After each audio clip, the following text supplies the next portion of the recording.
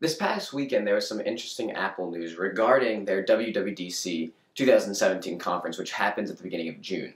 A well respected uh, KGI security analyst who reports on Apple frequently came out with a note that basically said uh, this year, unlike previous years, Apple's going to be launching two hardware products uh, at WWDC a new iPad Pro and a Siri wireless speaker. Uh, so, the first thing about the iPad Pro, uh, this is going to be allegedly a very new form factor. At 10.5 inches, it'll actually fit into the same form factor as the 9.7 inch iPad Pro, uh, but have a vastly redesigned uh, screen basically, and it'll be bezel-less. So this kind of is in line with iPhone 8 rumors, and of course the Galaxy S8 that have very low bezel uh, designs.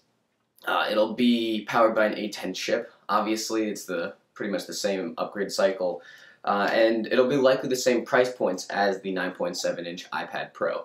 Now, the KGI security analyst says that there's a 70% chance that this launches at WWDC. I have two initial thoughts on the matter. Number one, I think this iPad that they're describing is 100% real and one will 100% launch at some point. However, my other reaction is I don't really, I'm a little surprised to hear about WWDC as the launch time. What made a lot more sense to me was for Apple to have the brand new design, bezel-less design with the iPhone 8, and then sometime next year launch an iPad Pro uh, that then followed suit and gained that bezel-less design and also gained 3D touch. Uh, you know, 70% chance seems pretty high, so maybe I'm wrong. It also could make sense that they're going to switch their normal cycle instead of having the iPhone improvements first with iPad uh, following suit later. Maybe iPad sales have been going down recently. They have, if you look at their financials. So maybe it makes sense that they change that cycle and bring out a very revolutionary iPad Pro now. Um, but we'll see at WWDC, which again is in the beginning of June.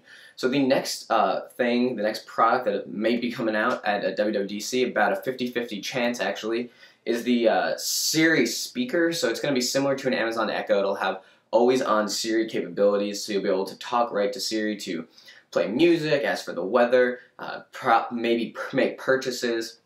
Um, it seems like a very interesting idea. A lot of people enjoy their Amazon Echoes. I personally don't have one. I think the big thing though is Siri is going to have to improve in its intelligence a lot more uh, for this to make sense, right? Because I think Siri uh, kind of started at one of the first big uh, AI assistants in phones and iPads, etc. I think there's been a, it's lagged a lot, and I think Apple uh, really needs to improve it so it's more context aware, so it can do more things, it can connect to more applications. And I think once it does that, this will make a lot more sense. Um, again, it's about a 50-50 shot for coming out at WWDC, and even at, at that point, it's also rumored that even if they do announce it, it might not launch until later in 2017.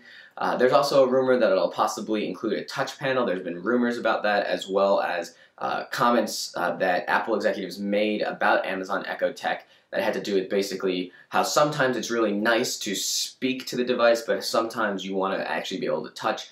Uh, no word, of course, these are all very speculative rumors about the specifics of the Siri speaker, but no word yet if the touch panel means a full touch display, capacitive multi-touch display, or if it means touch-sensitive buttons on there.